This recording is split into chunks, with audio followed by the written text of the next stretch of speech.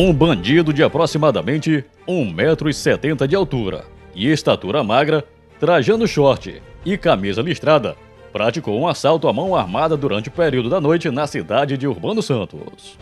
Segundo informações, o meliante aproveitou o baixo movimento na Avenida Manuel Inácio, no centro, para cometer o ato criminoso. O fato se deu numa farmácia por volta das 21h30 do dia 27, quando o bandido conseguiu roubar 500 reais do estabelecimento, além de dois aparelhos celulares. O indivíduo, após o roubo, tomou destino ignorado. A guarnição de plantão da Polícia Militar fez deslocamento para tentar localizar o autor do delito, mas sem êxito. A vítima, que tem 22 anos e que não teve o nome revelado, foi orientada a procurar a DEPOL local para providências cabíveis que o caso exige.